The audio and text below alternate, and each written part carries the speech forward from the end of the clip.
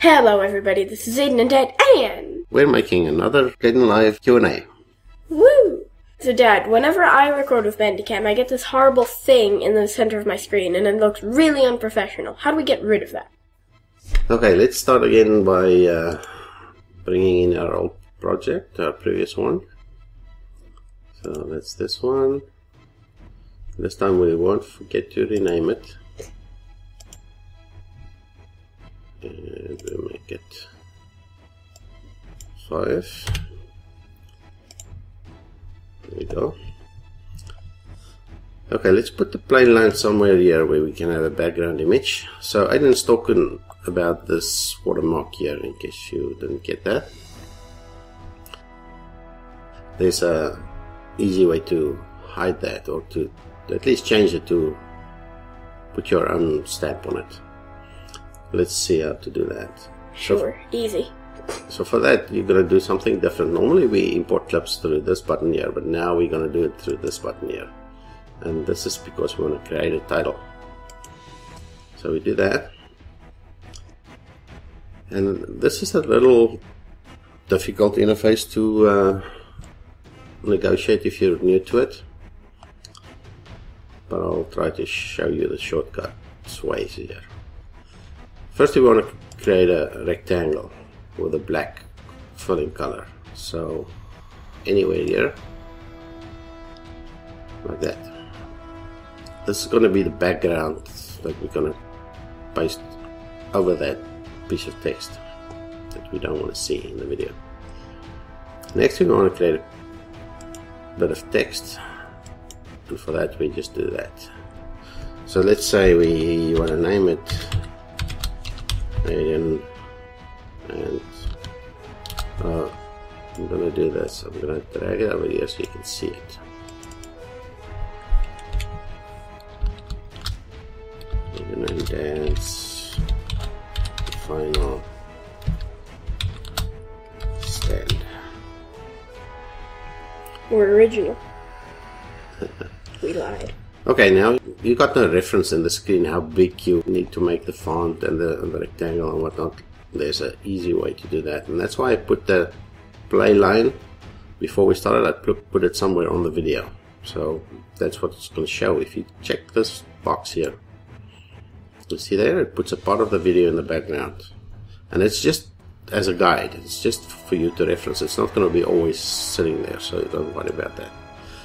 So now we want to first make this thing the same length. This black box just needs to cover up the this part of the text. So we're gonna grab it there and we're gonna make it shorter, like just a little bit longer than that. But we also want to do this and make it as small as possible. This part of the uh, video editing usually goes slow and is very fiddly, as Dad is demonstrating here. So like that. In order to get it nicely over, you can, you can try and put it there, but to be consistent, I normally just do this. I make sure I cover that B there, right, like this. And if you don't like the open space at the top, you can make this black box a little bigger. But that's the way I like to do it. And then I center it with this. See, with this button here, you can move it all over the screen. See, like that shortcut ways of doing stuff. So this is extremely handy. And this is really useful if you want text to appear in the middle of the screen. Yep. And so you don't have to mess again. I, I'm going to just center it around the bead uh, along the horizontal, but for the vertical, I'm centering. I'm going to do that, or maybe it's the other way around. Okay, now let's grab this text and do the same. I'm just going to put it somewhere on the box and, and I'm just looking for the spacing between the, the top edge of the letters and the black box the in the background there. I want them sort of the same, like that, and then I center again with that. And how's that? I think that's cool. Let's say okay here.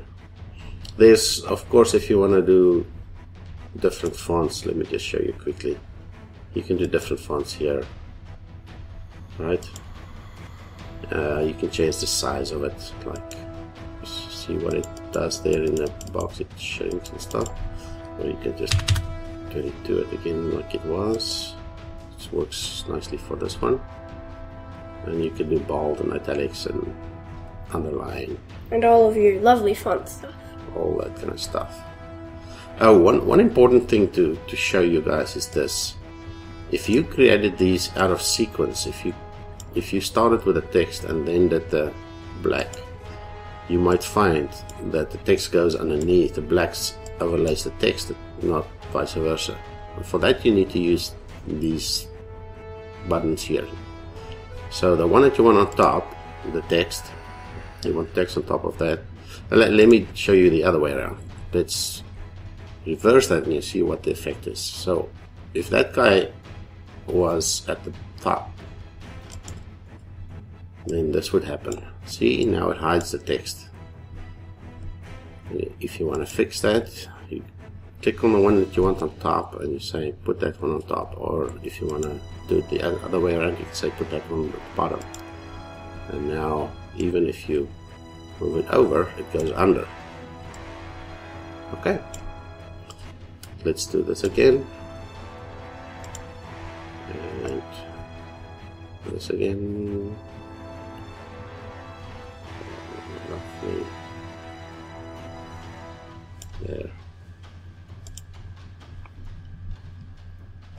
Click there. Everything looks fine. All good. Okay, here. You'll see it's created this new title clip image here and of course you need to do something with that now. It's still not on as you can see on the video. Okay guys so first there's a a few things we need to do before we can uh, put that title on. And you'll see me zooming in here on the left side. I just want to put a guide here because I want to move this video now a little bit. I just want to move it one track down like that. Okay and let's zoom out a little bit. Now we can bring the title clip down. And you can rename it up there if you want. Just lining it up with the left edge here and of course dragging the right edge. So it lines up there. Um, I'm not going to explain now why I do do it like this as opposed to just putting it in between these two uh, intro and outro pictures. But uh, it should now fade nicely. Let me just change this. Instead of auto I just want to change it to video 3 because I want I don't want it to uh, be composite to this one. I want it to be composite with the actual video not to the title and same here although the auto should figure that out I just love to play it safe. Let me drag it through here. Yeah, there we go. See even the title fades in. That or dissolves. So that's what that transition there is called it dissolve and same here. Dissolves out like that. And in the middle you'll see there's our title Righty, let's render it. We're gonna change this to 5.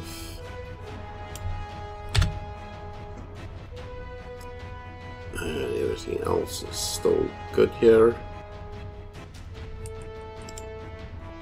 And we'll see you in a bit. Okay, so after our first double digit render time, uh, it's done. Yeah, and uh, obviously adding this additional track um, made a huge difference in, in the rendering. And you'll see that the more complex your videos become, the, the longer it's going to take to, to do. It quadrupled the uh, rendering time. Okay, so let's just play it quickly and see that it worked. if it worked. So we want to see it fading in. Oh, that looks nice.